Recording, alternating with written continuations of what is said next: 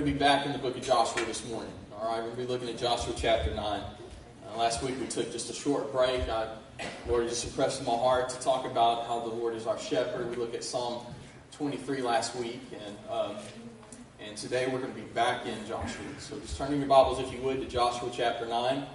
Uh, while you're doing that, I'm just going to kind of kind of go back to chapter 8 for a minute and kind of catch us up again. It's, it was a week. I know that some of y'all have slept since then, and you've probably forgotten uh, what we talked about in, in chapter 8. But, uh, you know, in chapter 8, we've seen where Joshua and the Israelites had their second battle with Ai. They had, in chapter 7, they had dealt with the sin issue of Achan, and it, God had turned away his wrath, is what it said, his anger from Israel. And he, he'd give them specific instructions now to go against Ai, against the, the land of Ai again. And on this time, they were to take the whole congregation, the whole army of Israel against Ai. And they defeated Ai. Uh, God gave them victory.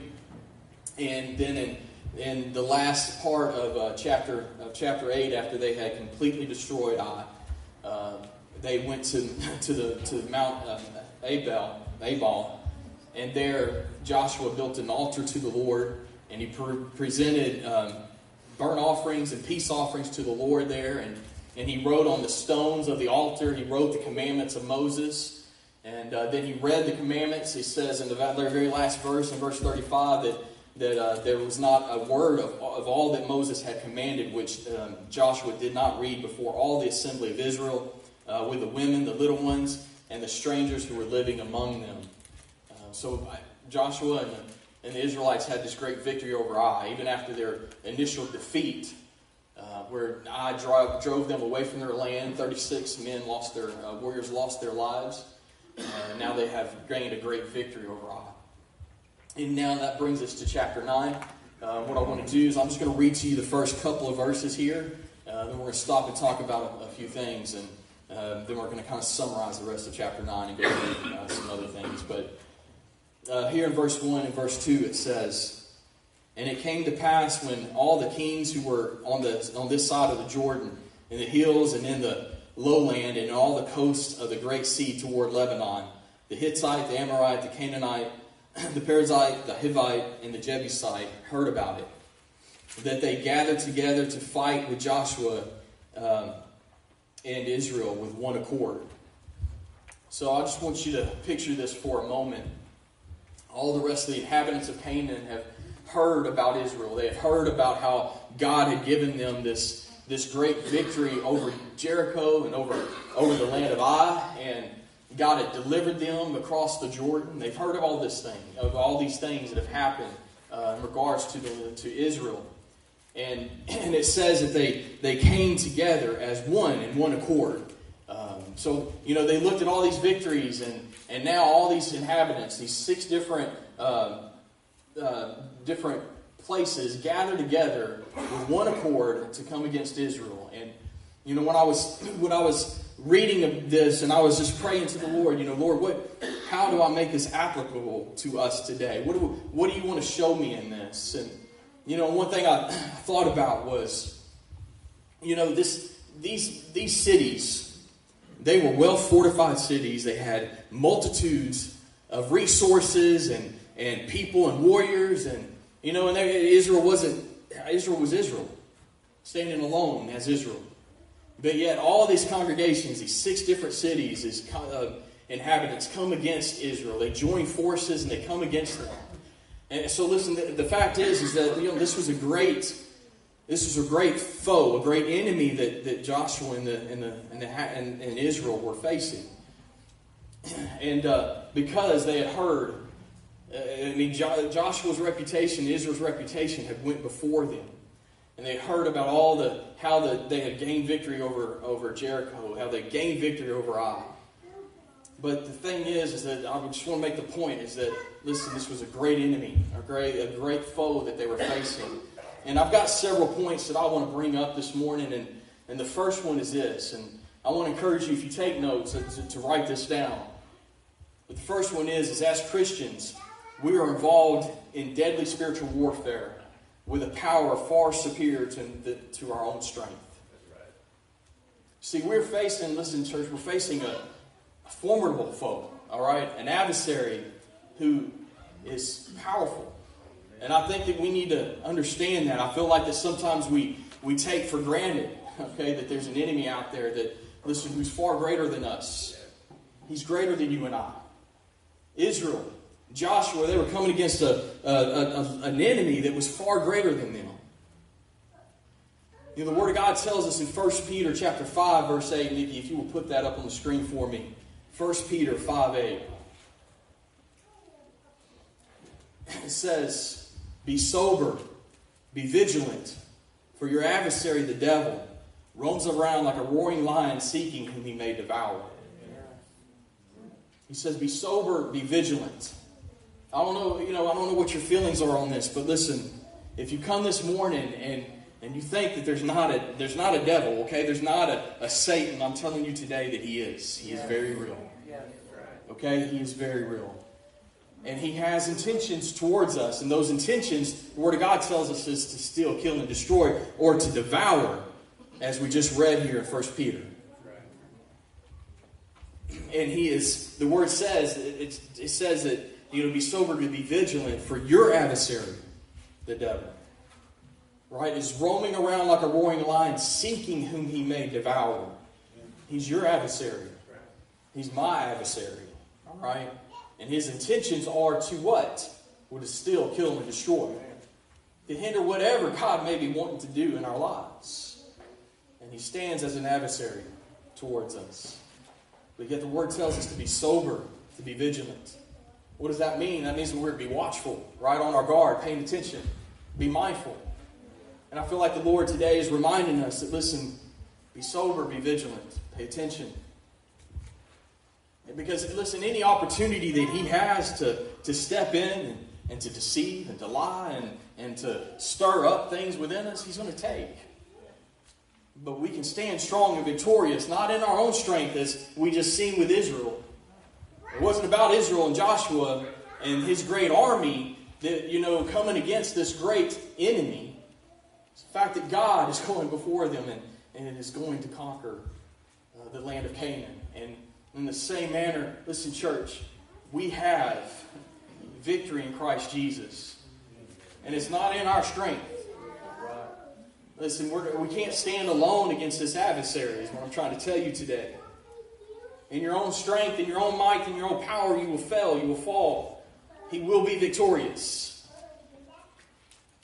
But if you would, now let's turn. I'm going to bring brings me to my second point this morning. If you would turn to Ephesians chapter 6. Chapter 6, verse 10.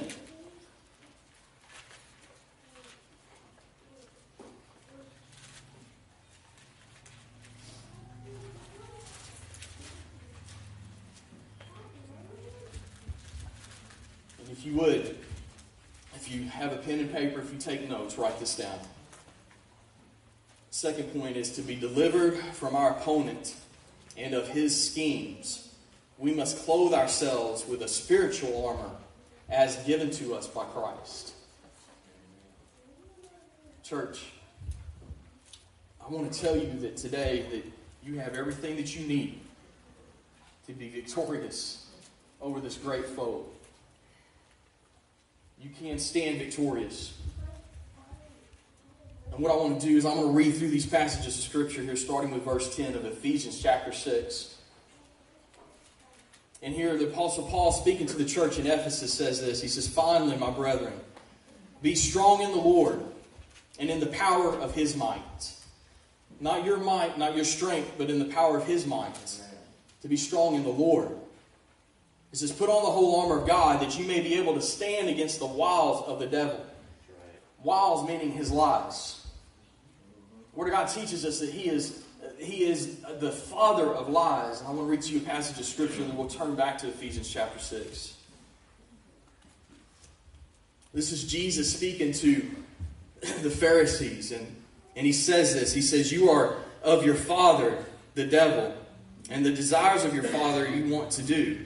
He was a murderer from the beginning and does not stand in the truth because there is no truth in him. When he speaks a lie, he speaks from his own resources, for he is a, liar and the father of it. The father of lies. As we read, if we were to read on in chapter 9, I want to I want to point this out to you that in chapter 9, after, after this great congregation had joined forces and they're coming against Israel, there was one city that stood out amongst the rest of them Gibeon. And it says that Gibeon disguised themselves as foreigner to the land of Canaan. As they were out, they were coming um, from the outskirts of Canaan, and they, they had heard about this great uh, this great people, Israel, and how God had delivered them from, from Jericho and delivered them from Ai. And they were coming to make a treaty with, with, with Israel. And they disguised themselves. They, they dressed themselves in old garments and old clothes like they'd been traveling for a while. Their, bread and their provisions, it looked like it was all old and stale. And they came as, as, as this people that were outsiders because God had instructed uh, through Moses that, that when they were to possess the land, that they were to come and they were to conquer all the land of Canaan. Not to leave any survivors, but to completely destroy Canaan and take complete possession of the land that was promised to them. So this people came in disguise. And when I thought about that, is that, is that not how, the, how our adversary works? I mean, he can come in and, and disguise. Listen, the, the devil, the enemy doesn't come in the front door, okay? He doesn't come in making himself known, all right? He comes in as a deceiver. He comes in disguise. And that's why it's so important that we, as believers, as Christians, that we are sober and vigilant, that we are watchful, that we're mindful, that we're paying attention that we're not taken off guard. Because I'm telling you, church, there's been multitudes and multitudes deceived and led astray because they weren't sober and vigilant. Because they gave in to the tempter, to the deceiver. Israel was deceived by the Gibeons. And the Gibeons came in amongst them, and Joshua took them in, and they took provision of them. I'm going to read to you just one verse. If you Mark Ephesians chapter 6. We're going to come back there in just a second. But in Joshua chapter 9, verse 14, it says this. It says, Then the men of Israel took some of their provisions, but they did not ask counsel of the Lord. Did you catch that? I mean, Joshua and the Israelites were deceived by Gibeon because they did not seek counsel from the Lord. Jesus says, I'm the vine you are the branches. He says that if you remain in me, I will remain in you. For apart from me, you can do nothing. We must remain near and close to Christ, in fellowship with Him, being sober, being vigilant, watchful, so that we're not taken off guard, so that we're not deceived. And I'm not talking about the enemy stealing our salvation, but he can steal your joy, he can steal your peace. He can steal the security that you feel that you have in, in being in Christ Jesus. Ephesians chapter 6. Verse 13, I mean, in verse 12, it says, For we do not wrestle against flesh and blood, but against principalities, against powers, against the rulers of the darkness of this age, against spiritual hosts of wickedness in the heavenly places. You know, church, I feel like that often, often, often, we get so wrapped up in, in, in, in fighting amongst each other, so wrapped up in, in struggling against flesh and against people and circumstances and issues and situations that we miss the fact that there's a spiritual battle. We get so distracted and tied up with the things that are happening around us, the things that we can see physically, that listen, those spiritual things that are happening, that, that's the cause of all of it, we just miss that. Paul tells the church in Ephesus here that we don't wrestle against flesh and blood, but against principalities, against powers, against the rulers of the darkness of this age, against spiritual hosts of wickedness in the heavenly places. The church, there's hope. We can stand against it. And that's what Paul is teaching the church here in Ephesus. And that's why he says here in verse 13, he says, Therefore, take up the whole armor of God, that you may be able to withstand in the evil day, and having done all to stand. And having, he says, stand therefore, having girded your waist with truth. With truth, church. Listen, he's the father of lies, but God is, listen, he's the author of truth. And truth, listen, the Word of God tells us that the truth will make you free. It's, it's about the truth. And where do we find the truth? Well, we find it in God's Word, right? We find it in Christ Jesus. He is the way, the truth, and the life. He is our security. He is the truth. So when it says that we are to take up the whole armor of God and to stand therefore, having girded our waist with truth, listen, we are to put on truth. And, and listen, the belt was what held everything together. It held those loose garments close together, and it prepared them and made the, the, the, the, the soldier ready for battle. And it says, having put on the breastplate of righteousness. And listen, that's not your righteousness. Our righteousness is as filthy rags.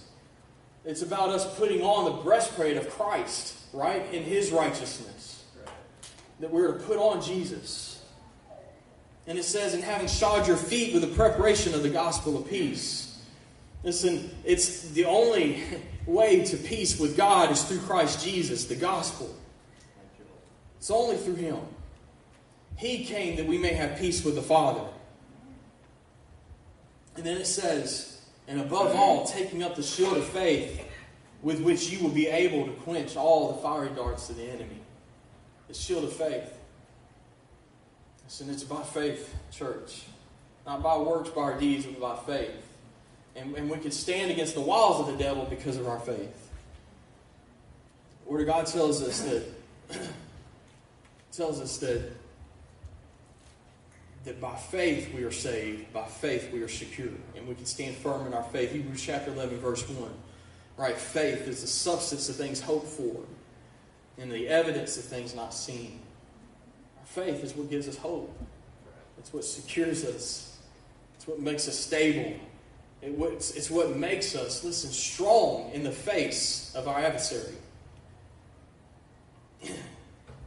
And then it says, and take the helmet of salvation. I want to tell you that my, my pastor used to describe it this way. He said, that's the mind of Christ. We're to put on the mind of Christ. It's to secure in our salvation through Christ Jesus. The Word of God says that you that we are to put this let this mind be in you, which is also in Christ Jesus.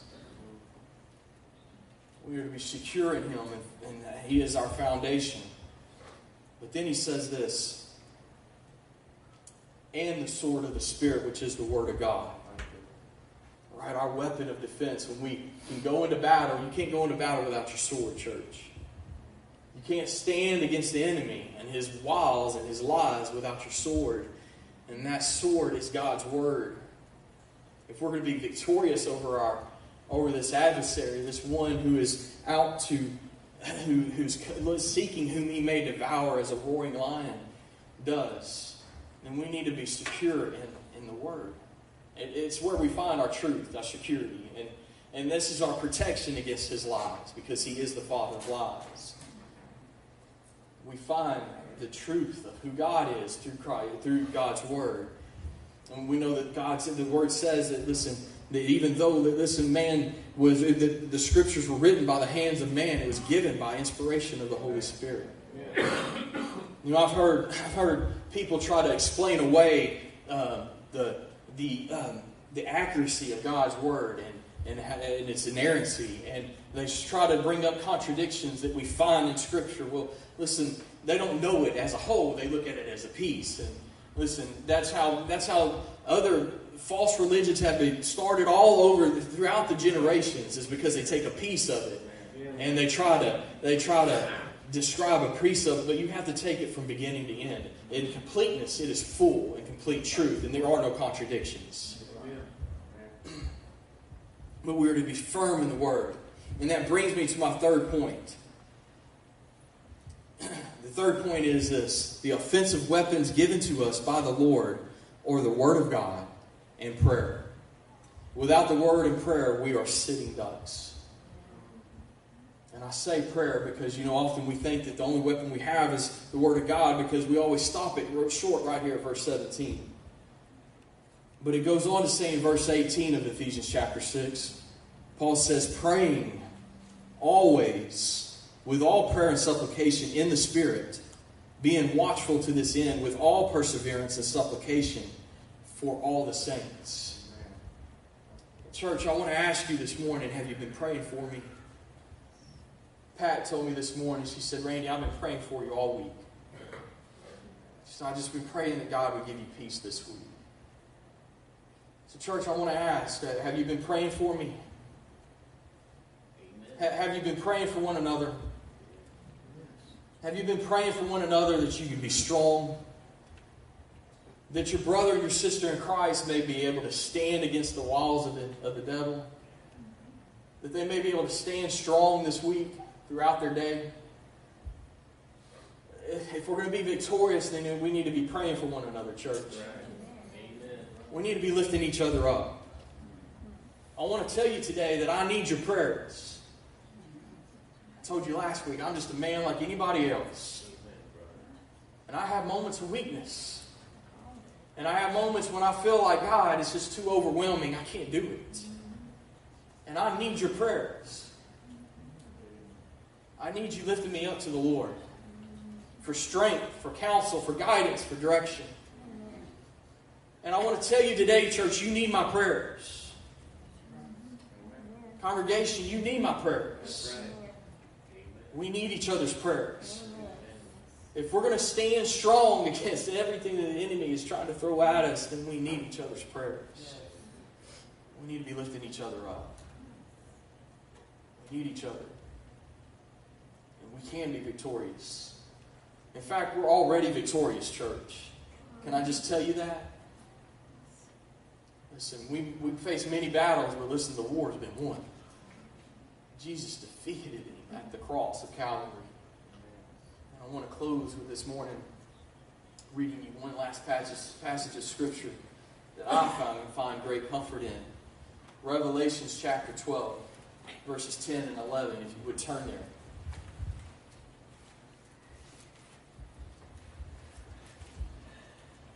Revelations chapter 12, verses 10 and 11. Missy Nikki has asked me that I repeat it more than once because I take her off guard sometimes, and I say, "Nikki, it's gonna. Uh, don't worry about it. If you can't find it, it's up here on the screen." And she's like, "No, it's not up on the screen because I didn't hear what you said." So we're going to repeat it this morning. Revelation chapter 12, verses 10 and 11.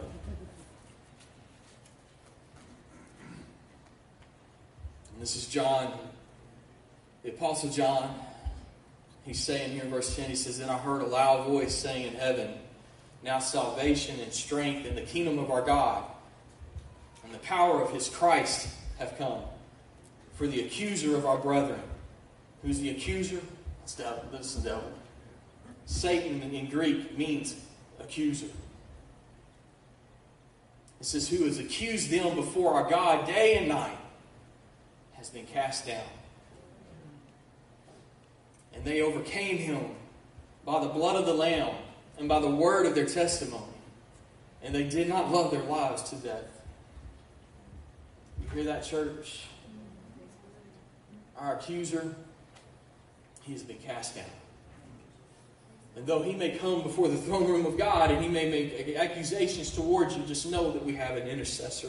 We have an advocate, right, that stands at our defense right, who intercedes before us, before the Lord. And when the accuser comes, listen, he stands in our place and he says, They are innocent. I have taken their guilt upon myself, and I have crucified it at the cross of Calvary. Yes. Word tells us that Jesus took our sins and bore them at the cross. And then he cast them to the depths of the sea. Right? Then he cast them as far as the east is from the west. You and I are forgiven in Christ Jesus. And there, therefore, is now no condemnation for those who are in Christ Jesus. And listen, we can stand victorious over the enemy today because of Him. Not because of our strength and our power. If we try to face Him on our own, we will fail. But because of Christ Jesus, you and I can be victorious today over the enemy. We, we can be sober and we can be vigilant, watchful, mindful that, listen, he's always around the corner trying. Okay? But if we stand on the truth of God's word, if we stand right, clothed in the righteousness of Christ, if we put on the helmet of salvation, right, if we shod our feet with the preparation of the gospel of peace, knowing that we have peace with God through Christ Jesus. And listen, we can take up that shield of faith and every dart, everything that he, fiery dart that he throws against us, listen, we can be victorious over it. Amen. Not because of us, but because of him. It's all about Jesus. It's all about what he has done. You know what? I can't sit up here and put any other emphasis on this than other than, than it's all Christ. It's all him. There's victory in Christ Jesus. And we can be victorious over the enemy through Jesus. Joshua and Israel were victorious in their battles whenever they sought counsel from the Lord. Whenever they did not seek counsel of the Lord, they ran in defeat. Don't think that you can stand and face what you're facing right now and be victorious over it without Him. Seek counsel from the Lord. When Joshua and Israel sought counsel, they were victorious. Remain close to Him. Don't stray too far away. The Word of God tells us, lean not on your own understanding, but in all of your ways acknowledge, acknowledge Him, and He will direct your paths. See, we get in trouble when we try to do things our own way. We get in trouble whenever we feel like that we don't need to seek God. And, and a lot of times, listen, it's not even though that we don't feel like we need to. Man, we just don't even think about it, right? I mean, I, I, the point I want to make here today also is that, look, in, in, in, in, chapter 8, we saw, man, we saw Israel, they had this great victory over Ai, and they went up to the Mount of Ebal, and they, and they, and they built an altar, and they, and they, sent, they, they put forth offerings before the Lord, peace offerings and burnt offerings, and, and that, listen, they were celebrating a great victory over Ai. But they were taken off guard in chapter 9 by Gibeon. Sometimes I feel like, church, that, that we can we can get so wrapped up in the victories that we forget that listen, there's still an adversary out there. Mm-hmm. He's still roaming around like a roaring lion seeking whom he may devour. You know, the thing about, about Joshua and Israel is that they were deceived because Gibeon came, and they presented some, some pretty good evidence. I mean, they, they, they came and dressed in old clothes and rags, and like they've been traveling forever. Their, their, their bread was stale, their wine was old. And you know what Joshua and Israel did is they trusted their sight. They trusted their feelings. They missed the fact that they were being deceived. And I tell you, church, that listen, the Word of God tells us in Romans, the Apostle Paul says that we walk not by sight, right, but we walk by faith. Church, if, if all we're doing is, is, is looking at the things around us, the things that we can feel and touch, then listen, we can be deceived because our feelings can lead us astray. Joshua and Israel were deceived because they were trusting what they saw. And they did not seek counsel from the Lord. We must seek counsel from the Lord and not be deceived by the things that we feel, that, that we can touch and taste and hold. That's not faith. Right? So I just want to encourage you today, church. Another thing that I want to say is that when God's people are victorious or prosper, it seems Satan doubles his efforts and attacks against them. Hmm, I can tell you, church, I've seen it time and time again that, you know, when people get comfortable, you know, when, when, whenever, man, we receive a victory in our hearts and our lives, I've seen people who have come to the point, man, of confessing Jesus Christ as, as Lord and, and, man, they're on fire for God. And then the enemy comes and it would, right, holds nothing back. And they're not ready for it. They're not ready for it because they, haven't learned to put on the armor of God, to be strong in His strength, to be dependent upon Him for the victory. Church, we have to be dependent upon Him in the midst of our battles and not us. It's about His strength and not ours. So we're going to close with that this morning, church. If you would, please stand.